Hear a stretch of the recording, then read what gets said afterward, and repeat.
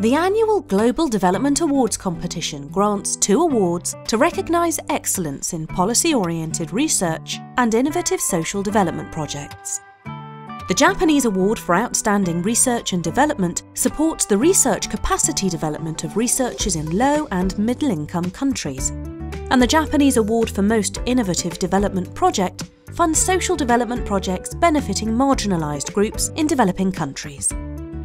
Run by the Global Development Network since 2000, roughly $4 million has been granted to researchers and social initiatives around the world. The Global Development Awards competition recently celebrated its 20th year, and the impact of these 20 years is demonstrated in the competition's independent impact reports.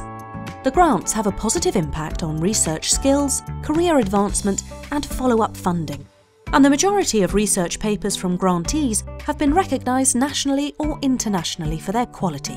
The grants help to increase professional network collaborations and tend to exceed the expectations of organisations and individuals and enable skill development.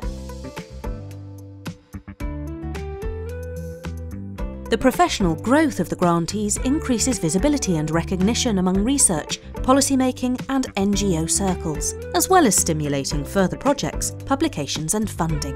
The awards offer a platform for participants, both researchers and NGOs, to increase their networks and project recognition to national and international audiences. And the winners often see national and international replication of their research or development projects.